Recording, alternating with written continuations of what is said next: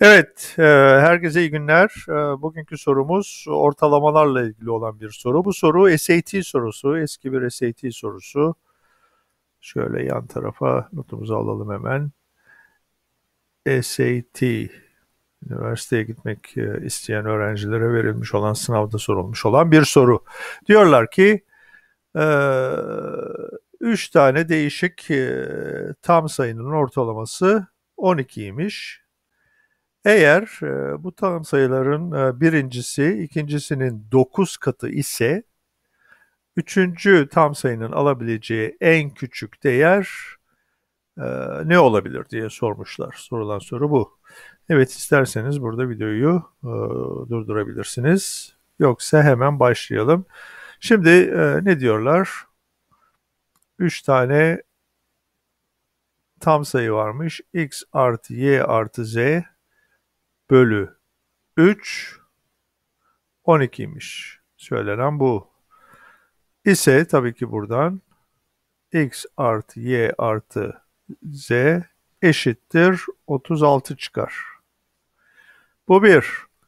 Başka ne biliyoruz? Diyorlar ki x y'nin 9 katıdır. Dolayısıyla şuraya koyarsanız bunu 9y artı y artı z 36 olmak durumunda.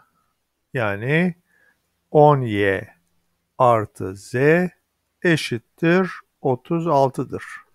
Şimdi biliyoruz ki bu x, y, z'ler e, tam sayılar ve z'nin alabileceği en küçük değeri bulmaya çalışıyoruz. Eğer z'nin alabileceği en büyük değeri arıyorsak y en fazla ne olabilir diye düşünebiliriz.